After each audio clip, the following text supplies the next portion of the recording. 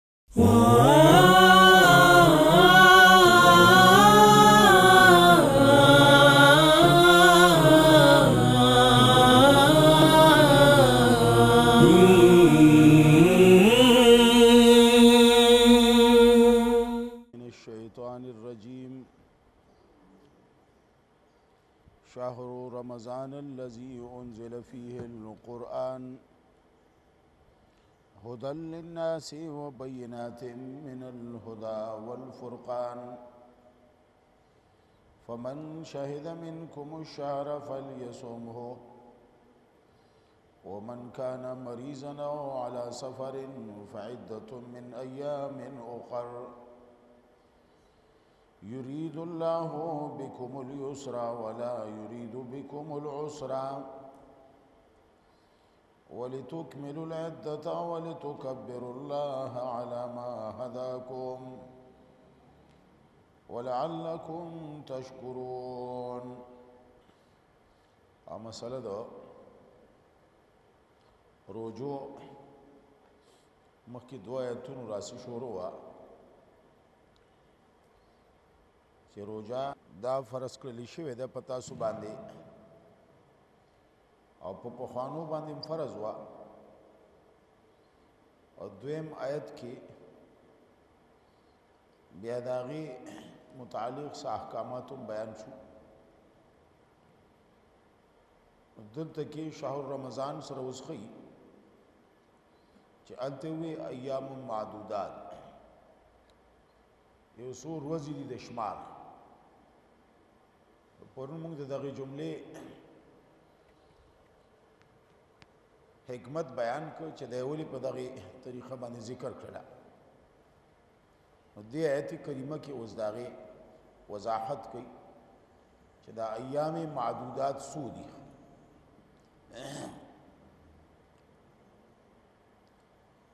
نو دا د هغې وضاحت کوي چې ایام معدودات څو دي خو یو پوره میاشت ده که نه پوره میاشت روژې نیول دي او میاشتو کې د هغې تعین هم په خپله کوي چې میاشت رمضان ده اسلامي میاشتو کې دا میاشت مشهوره ده میاشت رمضان روژې میاشت ورته موږ وایو نو دا پورا روزي نیول دي شهر رمضان الذي انزل فيه القرآن هغه مخکې سره چې لګا یا ما معدودات دلته په سره کې هيا شهر رمضان دغه ایام معدودات چې دي دا میاشت رمضان د پورا غوري دا پوره میاشت رمضان روزي نیول دي پرون موږ ذکر کړل چې د دې وخت تحدید شارح کړی دی قران کریم دا غي بیان کړی دی دا اختیار چاته نشته چې ته ورګه دې میاشت کې اوسګار نیمه یا ګرمي ده زببل میاشونی سم نه هم دې میاش کې دا روجي نیول فرض دي دا کو په ګرمۍ کې راځي او کو په سړځای کې راځي تا ته دا اختیار نشته چې دا ته بدل کې کله چې معذور نه بیا د دې میاشتې فضیلت ته اشاره کوي چې دا میاشت څومره عظیمه ده دا تاریخي عظمت لري شرافت لري نو یو دا غي نه دی چې الذي انزل فيه القرآن دا هغه میاشته چې نازل شوی دی په دې کې قرآن نو قرآن غوندي عظیم کتاب په دې میاشت کې نازل شوی دی نو دا پکې مدي یو عظمت بیان چې په دې طریقه دې ته شرافت د ظرفیت وی معنی دا ظرف ته د سره پاره دی د پاره چې دا عظیم کتاب په دې کې نازل شوی دی اکثر مفسرین هم دغه معنی کړی ده دا هدل للناس وبینات من الهدى والفرقان دا بیا د قران کریم صفات ذکر کړل چې هغه عظیم کتاب چې د ټولو خلکو د پاره یو هدایت دی دا صفات خو مکه او دل للمتقین سره مو ذکر کړ دویم و بینات من الهدى واضح دلائل دي د هدایت او دریم والفرقان چې دا صفات مخکې د تورات بیان شو دلته د قران کریم وروړو او ته معنا موږ وکړه معنا فرق راوستون کې په منځ د حق او باطل کې دا درې صفات د قران کریم بیان شو دا دومره عظیم کتاب په دې میاش کې نازل شوی دی دا د دې فضیلت ته اشاره شولا مسند احمد او بعضو نور هم دغه روایت را نقل کړی د واصله بن الاسقع رضی الله عنه نه چاوی رسول الله صلی الله علیه وسلم فرمایل انزلت صحف ابراهیم فی اول ليله من رمضان دا ابراهیم علی السلام ته چې کومه صحیفه ورکړل شوی وي دا د رمضان په اول شپه باندې نازل شوی دی او وانزلت التوراة لست مزین من رمضان او تورات دا شپږ ورځې د رمضان د میاشتې تیرې شوې وې دا موسی علی السلام ته ورکړل شو او انجیل چې د علی 13 خلق من رمضان دیار لسو ورځې د رمضان تیرې شوې وې او انزل الفرقان ل 24 خلت من رمضان دا په سلی رښتیا مش په نازل شوی دی د مسند احمد کې راوړی تفصیل سره ځکه موږ د دې میاشتې عظمت چې دا تاریخي دی اسو وسنی نه دی دا ډیر زور دی معنی د الله ته طرف چې څومره کتابونه او خاص کر دا عظیم کتابونه په دې عظیم شخصیاتو چې راغلي دا ټول په دې میاشت کې تاسو د دې میاشتې د عظمت شان نوې خبر شیخ په دغه مناسبت باندې تخصیص وشو د دې میاشتې د پاره د روزو معنی دې ته شهر الصبر په دې مناسبت وي چې روزه پکې نیول دي روزو ته صبر په دې معنی وي چې ځان صبر کړای کنه خوراک سکا کو شهواتو نه او په دغه مناسبت او ته شهر القرآن وي چې یو قرآنی کریم او دا نور کتابونه په دې کې نازل شوي دي او بل دا چې رسول الله صلی الله علیه وسلم او صحابه کرامو په دې میاش کې قران کریم له زور ورکاو د شپې او د ورځې به همدا کار وکړو سلف صالحین ټول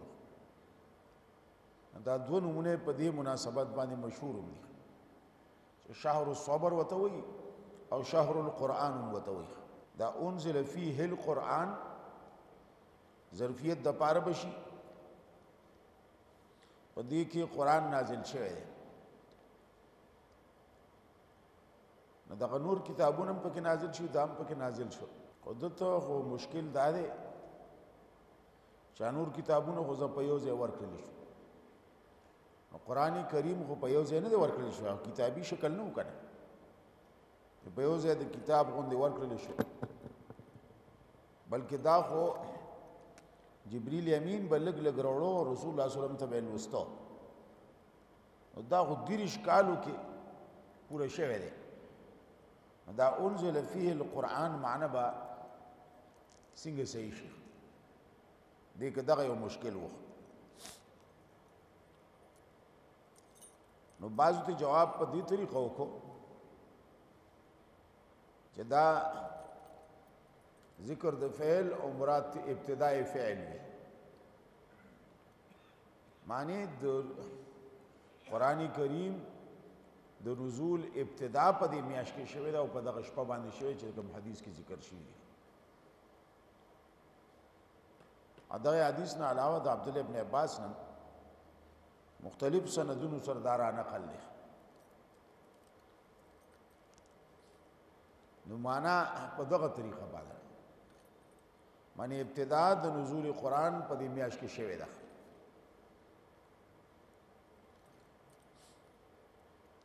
بیا معنا واضح شول او بعضی وینا معنا داسې وکا چې الذي انزل فيه القرآن نو دا میاشت رمضان وی هغه چې انزل فيه معنی فی فضیلته القرآن بیا باید د سره اشکال وینه چې دا میاشت رمضان دا خدا سي میاشت ده چې د دې په فضیلت کې قرآني کریم نازل شوی دی د دې فضیلت او عظمت شان قرآن بیان کړي نور سوایه قران غوندي عظیم کتاب عدد میاشتې فضیلت بیانې نو ته ولې په دې خبره نه پوهېږې دې معنی کې خور د سره څه اشکال نشته دی دغه بل کې د عبد الله ابن عباس دغه روایت امام نسائی وغیر راوړي مختلفو ځایونو کې د سنن کبرا کې نو انزل فی القرآن معنی بیا په دې طریقه کې پاغه مناسبت باندې چې دا قران کریم الله پاک جبرئیل امین ته په میاشت رمضان کې ورکو هغه دې نږدې اسمان کې کېښودو او بیا به ته لږ لږ راوړلو نو انزل فی القرآن دا معنا شوله چې دا قران کریم د لوح محفوظ نه د اولنی اسمان ته نازل کړل شو په میاشت رمضان کې د غدرې معنی دا او اکثر مفسرین هم دا کړی دا په دغه مناسبت باندې چې عبد الله ابن عباس نه دا روایت را نقل دی او ډیر مشهور دی دې کې څه اشکال خو نشته لري خو بعضی خلکو ته دا اشکال راځي چې سو کوئی دا د الله کلام نه دی ناغت بیا استدلال کوي چې ګور دینه پته له دا خدای الله کلام نه دی دا خبره هم کې موږ ذکر کړل چې تورات هم د الله کلام دی باوجود د دې چې هغه لیکلی شوی کیفیت باندې دنیا ته راغلی دا خلاص مان ته راغلی دغه لیکلی شوی تختو کې موسی علی السلام لور کړل شو او بیا هم هغه د کلام الهی نه هغه خالق نه بیا هم کلام الهی دی نو دغه استدلال کو د دې جن سو کوي نو دا استدلال دا غي خطا دی لکه مخکې ابتدا کې دا خبر موږ وکړه چې قران کریم په دې کیفیت باندې لوح محفوظ کې موجود دی او بنا په دې روایت باندې د لوح محفوظ نه را جدا کو او په دین ایزه اسمان کې په دې کتابي شکل کې موجود دی جبريل امين د حاجت مناسبت سره ته لګ لګ راول په دغه مناسبت باندې بازو لږ جواب نه ورته دا حدیث ضعیف دی اله کسی نه ضعیف دی ضعیف نه دی او دا دې چې موقوف دی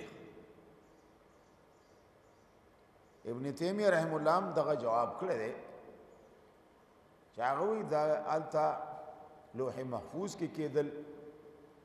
یا د نږدې اسمان ته راتلل کتابي شکل کې دا منافی د دې سره نه دی چې دا د الله کلام دی دا اس بعضی خلکو ته وهم شوه دی دا د الله کلام نه دی او بعضی خلک د حدیث تضعیف کوي په دې مناسبت چې دا خلک ته استدلال کوي نه دي تم ضرورت نشته لري دا کلام د الله دی باوجود د دې چې کتابتي شکل موجود دی لکه تورات باندې بیا درېم معنی دغه کول شي چې انزل فيه القرآن نازل شوه دی په دې کې قران کریم دی نږدې اسمان ته چې دا قران هدایت ته د خلکو د پاره اوازه دلایل دی د هدایت او فرق را وستون کې د پمن زحق او باطل کې دیکھو یو فضیلت ولا بیان کو اوس بیا یو بل حکم د بیان فمن شهد منکم الشهر فليصمه هغه وعلى الذين يطيقونه فديه طعام مسكين پر موږ ذکر کو په دغه معنا ظاهری باندې دا منسوخ دی او ناسخ دی چې فمن شهد منکم الشهر فليصم پتاسو کې چې څوک دې میاشه ته حاضر شو باندې مسافرم نه دی او بیمارم نه دی نو فلیصم هو د دې میاشتې روزه بنیسی بس رخصت و تنشته لري هغه رخصت چې وعلى الذين يطيقونه کې موجود و هغه منسوخ کړ دا د ناسخ او منسوخ هغه مثال دی قران په قران سره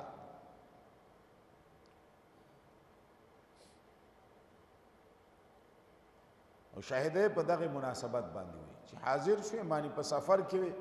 حاضر شو او چې حاضر خو جوړا سم دغه حکم دی دغه دریم حکم وعلى الذين يطيقونه فديه طعام مسكين صرف دا سره منسوخ شو وهم راغې چیرې دغه منسوخ شوی کې دي چې دا نورو منسوخ شوی نو دفع د وهم کوي چې ومن کان مریضا او علی سفر فعدة من ایام اخر هغه څوک چې او مریض یا او په سفر پس په د باندې دا شمارا د نور ورځو معنی هغه اوس نه دی منسوخ هغه اوس هم بر حال خود پاتې دی د دې فائدې ته اشاره کوي یرید الله بكم اليسر ولا یرید بكم العسر الله اراده لري پتا سو باندې د اسانتیا او اراده نلري پتا سو باندې د تنگسیا په دیو چې بعض علما ویل دي چې اصل په امر کې د استحباب دی دغه چې دین آسان دی کنه الدین یسر حدیث کې مرাজি کو امر سی غراغلن دا بنه چې ته امر سی غدن دا د وجوب د پاره وجوب او فرضیت کې او ګرانواله دی دې ځنه استدلال کیو هغه حدیث نه استدلال کیو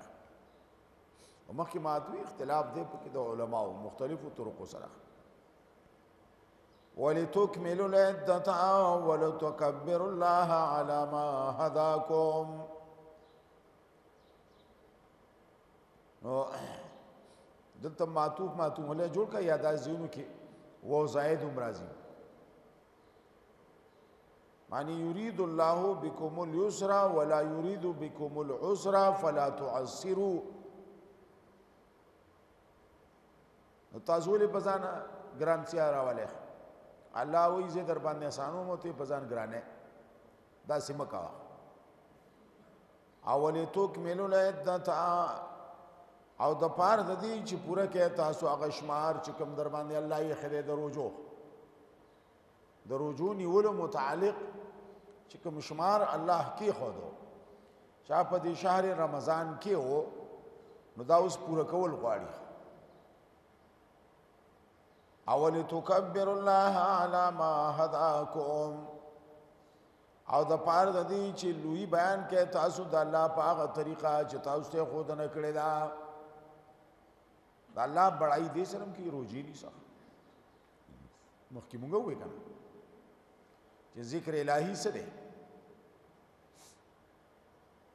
ذکر الهي دا دی چې الله کوم حکم کړی هغه سر ته ورسوا دا ذکر دی نو دیو جن ته تکبر الله نو دا نه چې صرف الله اکبر دی وې دا الله بڑای بیان شول نه چې روزه دیونی ولا دې صرف دا الله بڑای بیان شول او دا الله ذکر راغی علا ما هداکم په هغه طریقه چې څنګه تاسو ته خودنه کړې ده د روزو خپل خودنه ده د نور عبادت خپل خودنه ده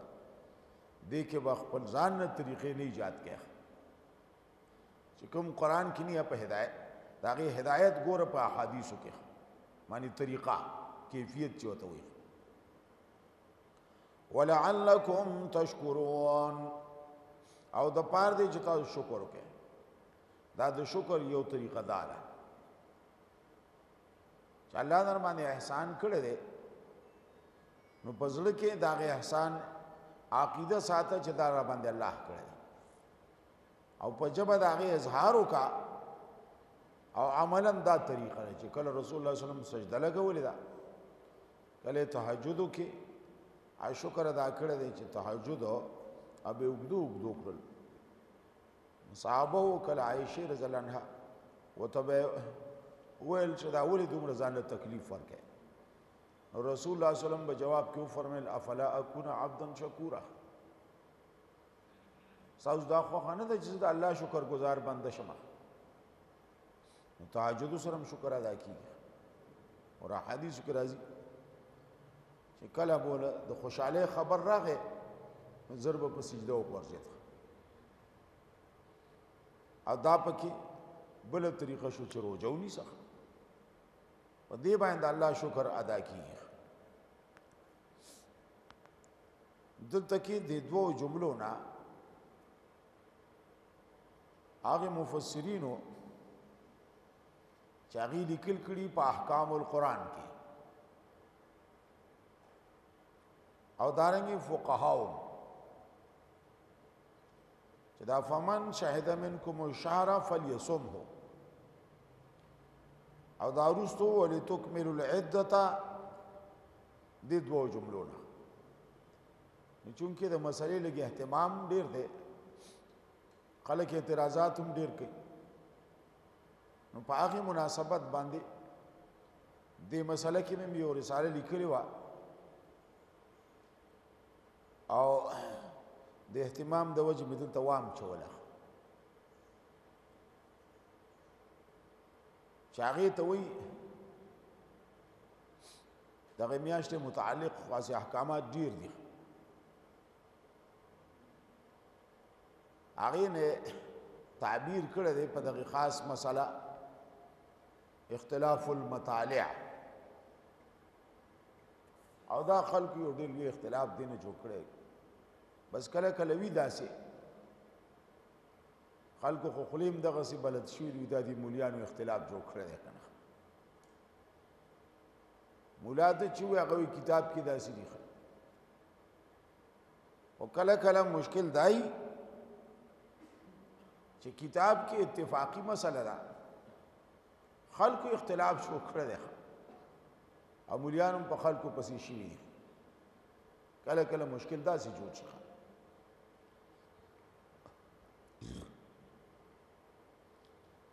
نو دا اختلاف المطالع معنی مطلع دم دې میاشتو اسلامی او تعلق دا خو د سپوږمۍ سره دی کنه دا روستو وی چې اسلامی احکامات د دې ټولو تعلق او توقیت چې کله د میاشتو په لحاظ دی نو دا د هغه میاشتو سره چې کوم قمری وته وي او موږ ته د سپوږمۍ حساب کتاب وایو او دی بل ته شمسی وایي بعضی وایي دا خدایي میاشت دی او دغه نور ته انګریزي وایي خدایي غدواړي دواړه نظامونه الله چلی خو چونکه انګريزانو اغيارو پاغه باندې خپل نظام ټول بنا کړي شمسی نظام سره دا جنوري فروری دغه چي نو دیو جن خلک هغه ته انګريزي وي او دا اسلامی میاشتې چې محرم نه شروع کی محرم سفر ربیع الاول ربیع الثانی دولس دادی نو د الله په قانون کې او رسو سوره توبه کې بوي ابتدانم الله پاک دې له اعتبار ورکړي احکامات شریعه ټول په دې بنا کړی دي دیو جن علما وی چې کو دا سو کیر کی کنه دا شمار چاته نه معلوم چاله کې کم یا شروع ده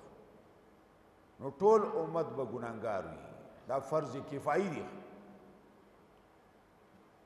چاته پتم نه لګي اسلامي میاشتو دا فرض کفایي دي ځکه دا خو سبب دی د عبادتو د پاره را روانه میاشت د رمضان د فرض دی نو دا چې تا ته نه مانو روزي به څنګه نیسي دا عبادت به څنګه ادا کړي دغه سي بیا ور دوه میاشتې بعد حج راځي هغه ته ذوالحجه وي هغه اخیری دولسمه میاشت ده او ده نهمه ده نو چې ته دا میاشت نه پیژنو حج عظیم عبادت ته به څنګه ادا کړې په دې مناسبت علما ویلي دا فرض کفایي دي دا د دې شمار او د دې حساب کتاب کول د دې معلومول نو دا میاشت چې دا سپوږمې سره د دې تعلق ته او سپوږمۍ سره اوس دا معلومیږي پرون مونږ وی چې دا میاش اول دوی مدرېمه کې چې خلک وګوري نو چغي وته یې زکه ته حلال وی کنه چې هغه درو خطا او هغه درو خطا د مکه مشرکانو يهوديانو هغه وخت کې نسوارا او ټولو دا خپل حساب کتاب په دې کې ځکه عبادت او تعلق دې سره وو رسو سوره توبه کې الله فرمایي ان عدت الشهور عند الله 12 شهرا في في كتاب الله منها اربعه حرم بیا یوم خلق السماوات والارض کله نه چې دا نظامی تکوینی شروع کړي دي دا هغه وخت نه الله پاک دا نظام وسره شروع کړي چې کال کې دولس میاشتې دي او سلور پکې د عظمت دي محرم حرمت والا د دې صورت کې مرستو وي داغه متعلق احکامات دي نو چې دا تا ته یاد نه نو ته احکامات څنګه ادا کړې پرون موږ وی دی اوقاتو کې دنه دا حکمونه ادا کول دا فرض دي لکه څنګه چې موز فرض دی نو داسې وخت کې کول فرض دي کنه روزه فرض ده نو په دې میاش کې نیول فرض ده دا څنګه چې په خپل خوخه چې کم ځای نشي نشي دا حکم خو نشته دی د دې وخت خپل یو فضیلت دی دا غینه سړی محروم شي نو دا میاش چې اودی کتلا نو بس دا شروع شوله او موږ اختلاف مطالع دي ته وي چې بل فرض دلته ته ګوري نو تا تخکار نشي وړا یا اسمان کې گرد و غبار دی کله وریز وي نو ښکارا نشي او چې سعودي ته ورسي دا 2 غنټه دلته فرق دی نو البته 2 غنټه به تیر شي لکه غټه شي وي البته فزام ډیره صفاده لوی مملکت ته لوی دنیا ده هغه دې شاړو ته چې لوټ شو د اسمان ته وګوري کنه نو ته به دا خو هغه اسمان نه دی چې کوم په پاکستان کې دی داسې صفایت ښکاري نو ان تخکاره شولا دې ته اختلاف المطالع وي چې دلته مطلع ا غډه وډه و نخ کاری دلا او بل دا چې دا دوه غنټې ته موږ مخ کیو آلته چوره سه دوه غنټې په تیر شوې مطلب صفا وخت کار شوله دا چې څومره اخوازه مغرب ته لړ شي نورم مطلب صفا کیږي او سپوږمې غټیږي نو دې ته اصل کوي اختلاف المطالع بعضی په دې معنی نه پوهیږي دا اختلاف المطالع په واقع کې شته دی دین خو څوک انکار کولی نشي کا نو چې دا شته نو آیا شریعت کې دا معتبر دی نو نه شریعت کې معتبر نه دی بعضی مالکیانو او بعضی شوافیو پکې اختلاف کړي ټولو نه دی کړي خو بعضی مالکیان وی او معتبر دی لکه څنګه چې واقع کې اختلاف دی پکې داسې په شریعت کې اختلاف دی خو دلته خو نه مالکیان شته او نه شوافی شته دلته خو یا احناف دي او یا لیدیس دي او څوک چې سعودیان نه متاثری حنابله دي هغه په حکم باندې روان دي هغه سره تړلي دي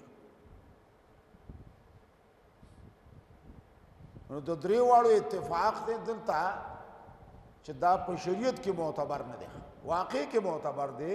خو شریعت کې نه دی معتبر معنا یو خار کې یو کلی کې یو علاقه کې یو مملکت کې چا میاشو کتله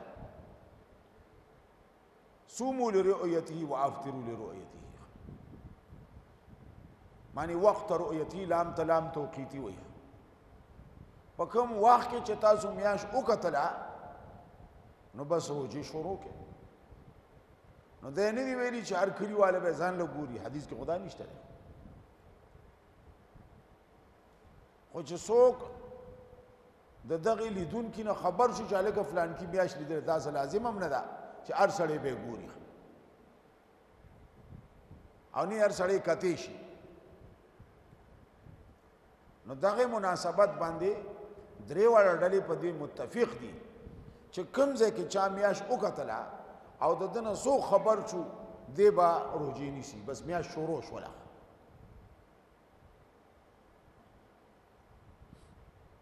مغنی والا ابن قدامه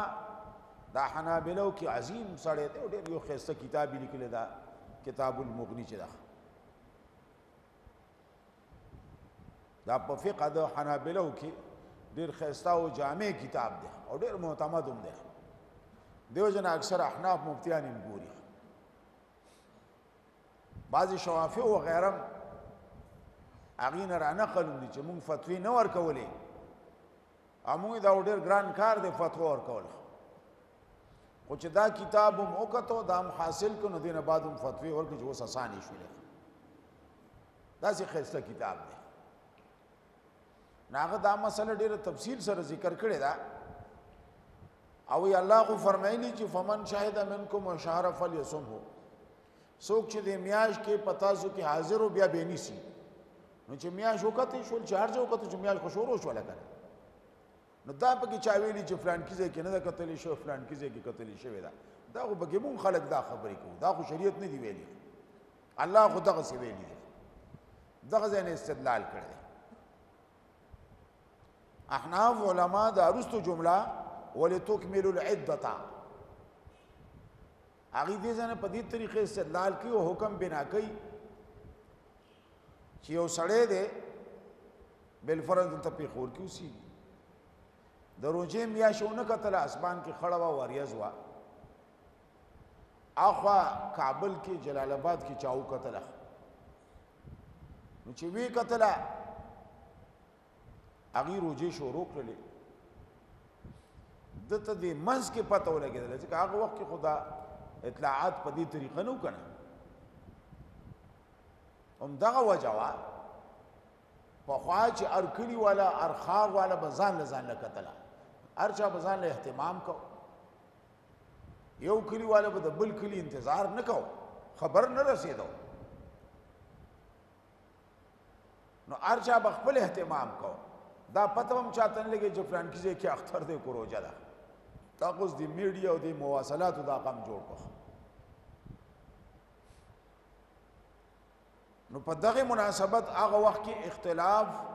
کوونه په نشي صاحب مسله هلته دا وه نو که علماو ذکر کړی نو په دغه مناسبت ذکر کړی دا څوک پوهیږي نه په دې خبره هلته امام ترمذی یا امام مسلم وغیره نورو کو دا عنوانات لګولې دي چې لكل اهل بلد رؤيتهم نو دا غي دا معنا وا چې ار کلی والا بزان له اهتمام کو د بل کلی چې په تمه کې دي خود ودرې روز پس خبر راته هغه دا غوا خبره وا دا عبد الله ابن عباس روایت نه استدلال کی او رستو شوکانی دا مغنی والا احناف علماء سمر اعتراضات په دغه استدلال کړی دي دا استدلال خو صحیح نه دی او یا دا هغه مقصد دا نه چې دا کم ته تاغست دی خو موږ د هغه مقصد هغه وخت کې داو چې یو خار والا د بل خار وال نه خبرې کې نه مجبورا حکم داو چې ار خار والا به ځان له خپل ګوري کو چا مخ کې وکړو کو چا روسته وکړو خو کو بل فرض د منځ کې د یو بل نه خبر شو لکه د روایت کې عبد الله ابن عباس د قریب په واسطه خبر چې شام کې خو موږ نه مخ کې قتل شوی دی ځکه شام خو د هغې نه بعد راځي نو هلته مخکې کتلې شوې ده او موږ وروستو کتلې ده نو دا یو ورځ فرق دی نو چې یو ورځ فرق راغی نو علما وی ته بوسکه دلته خو الله فرمایلی ولی تکمل العده احناف علما وی